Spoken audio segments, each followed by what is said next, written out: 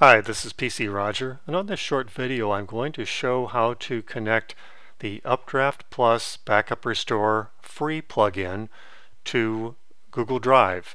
Now everybody who's got a uh, Gmail account uh, should be given 15 gigabytes of free space on Google Drive and this is a great way to use it. Most blogs are not going to take up uh, a lot of room and you can have a, a lot of backups on that Google Drive. And that way it's uh, in the cloud. You can also create backups and of course bring them down to your computer. That's great. Um, more backups the better. But this is uh, going to take advantage of Google Drive.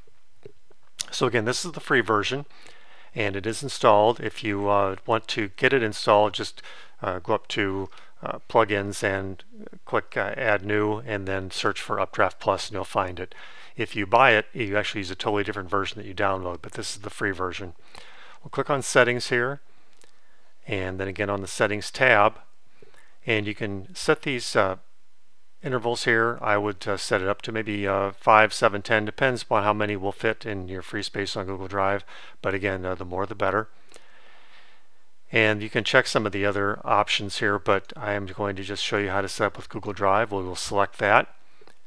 And this link here has some specific instructions if you want to go that way, but I'm going to show it here in case you have any, uh, any questions about how to do it.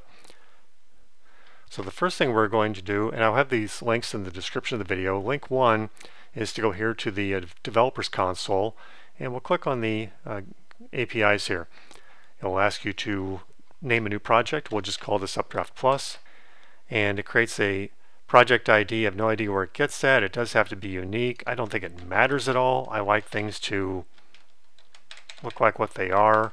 So I'll just change it to Updraft Plus and leave the number in there so it stays unique. I do not want all these uh, email updates, feature announcements, etc. I agree to the terms of service because I have no choice and I click create. And we can get rid of this uh, activity window here as soon as it's done. Okay. Now the next step is going to be to find Drive API. Now not Drive SDK, this Drive API. We're going to click on that and simply click the Enable API button here. Then we're going to go to the Credentials section and select the OAuth consent screen. Here you have your email address. Uh, product name shown to users, I think that's just other users. It's not you know going to show up anywhere. Uh, call it Updraft Plus. And these other option items are optional. We will scroll down here just a little bit and click Save. Now on this drop down here by credentials, we will select OAuth 2.0 Client ID. We're going to select Web Application. And then this information here, here's the, this is basically just your website here. This is the, essentially the base domain of the authorized redirect uh, that we're going to get off of Updraft itself. We'll click back to the tab here and here you can see they give you a link. We'll right click and copy that. And put it in the correct box here. And we are going to just fight and fight and fight with this thing, I guess. So we'll uh, move that up a bit. So we hit enter there and it shows up click the create button. I love fancy pretty websites, but I like them better when they work without frustration.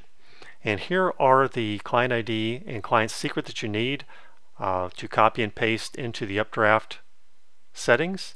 Of course, I've got them you know, grayed out because they are secrets.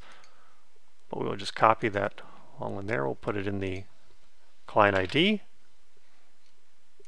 and then the secret. We'll likewise copy that, put that in the secret box. We will scroll down and click Save Changes. Once we save the changes, we want to go back into the settings here and scroll down. See this Google Drive here is all input, but we need to click on this link here in order to allow Updraft Plus to access. Click Allow. And then you're done. You can click Backup now and a backup should happen. And this basically just gives us the op opportunity to not do some things, but we will go and let it do it. And pretty soon we will see in our Google Drive an Updraft Plus folder appear. Now you can see it's creating the backup file.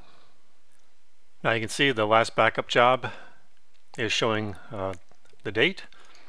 And then over here in Google Drive, we have an Updraft Plus folder or directory. And here are our files from it. So that is it for this short video. Thanks for watching. I hope that has helped. Again, this is the free version of Updraft Plus. I am personally upgrading to the paid version, and I'll maybe do a video on the transition. It's uh, pretty painless. But I do recommend uh, frequent backups and keeping a lot of backups. And in the uh, paid version, you can actually designate that certain backups are saved for a longer period of time, which is kind of nice too so that you can go back in time in case you've had uh, like a virus or some kind of malware that has infected your your installation of WordPress and, and your data. So if this video has helped, please give it a like and subscribe to my channel. Check out my website, pcroger.com. See you next time.